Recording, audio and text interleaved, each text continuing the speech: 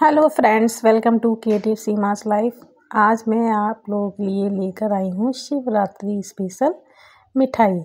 तो अगर आपके पास टाइम है, दस से बीस मिनट का और एक कोकोनट है आपके पास तो बस ये मिठाई हो जाएगी फटाफट से रेडी और वो भी ज़ीरो ऑयल में। इसमें किसी भी तरह का घी का इस्तेमाल नहीं किया जाएगा। और इतनी टेस्टी और हेल्दी ताज़ा नारियल की मिठाई। तो शुरू करते हैं। ये मेरे पास एक नारियल है। इसको मैं तोड़ लूँगी और फिर बड़े आराम से इसको निकाल लें। गिलास की हेल्प से या चम्मच चाकू से मत कीजिएगा, क्योंकि अक्सर लगने का डर होता है उसका। तो चम्मच से गिलास से जैसे भी आप निकाल पाएँ, उसे निकाल लें और इधर साथ ही साथ मैं चढ़ा दे रही हूँ। कढ़ाई में लगभग साढ़े सात सौ ग्राम मिल्क। मिल्क उधर पकता रहेगा और मैं इधर नारियल को धो के छील रही हूँ। आप इसी तरह इसका ये हार्ड पार्ट निकाल दें, क्योंकि अगर इसको रखेंगे तो उसमें जो है टेस्ट अच्छा नहीं आएगा। तो ऐसे आप पीलर की सहायता से या चाकू की सहायता से जैसे भी हैं, आप इसको रिमूव कर दीजिए और फिर अच्छे से इसको धो के छोटे छोटे टुकड़े कर लीजिए। और ये मैंने टुकड़े कर लिए हैं धो के अच्छे से काट के छोटे छोटे टुकड़े कर लिए हैं और इनके साथ जाएँगे अब दस बारह काजू। और मैं इन दस बारह काजू और कोकोनट के पीसीज को मिक्सी में जा रही हूँ ग्राइंड करने। ये मैंने मिक्सी में डाल लिए हैं और ये देखिए मैंने ग्राइंड कर लिया है। तो आप देख सकते हैं कि दर दरा सा पेस्ट बनकर रेडी हो गया है। मैं छूकर आपको दिखा रही हूँ। ये बहुत ज़्यादा मोटा नहीं है और बहुत बारीक भी नहीं होगा क्योंकि ये कोकोनट पाउडर है इसलिए। मैं एक बड़े बाउल में इसको शिफ्ट कर ले रही हूँ। अब जो दूध है उसको भी साथ साथ चलाते रहिए बीच में। तो लगभग साढ़े सात सौ ग्राम से ये आधा किलो दूध जब रह जाएगा मतलब ढाई सौ ग्राम जब ये रिड्यूस हो जाएगा, उस टाइम पर मैं इस कोकोनट के बुरादे को डालूँगी इसमें।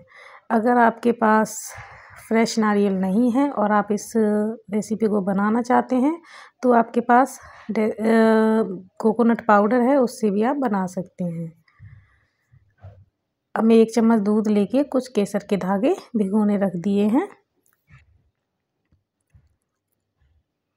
और अगर आप मेरे चैनल पर नए हैं तो प्लीज़ मेरे चैनल को सब्सक्राइब कर लीजिए और बेल आइकन दबाना बिल्कुल मत भूलिएगा, क्योंकि उससे ही मेरी रेसिपीज़ की नोटिफिकेशन आपके पास आएँगी और आप मेरे साथ लिंक में रहेंगे। तो प्लीज़ बिल्कुल मत भूलिएगा बेल आइकन दबाना। अब मैं इसमें शिफ्ट कर रही हूँ कोकोनट का बुरादा जो मैंने बनाया है फ्रेश कोकोनट से। इसमें मैंने डाली हुई है इलायची पाउडर थोड़ा सा अगर आपके पास इलायची पाउडर नहीं है तो दो से तीन हरी इलायची कूट कर इसमें आप डाल दें, छिलका उसका निकाल दें।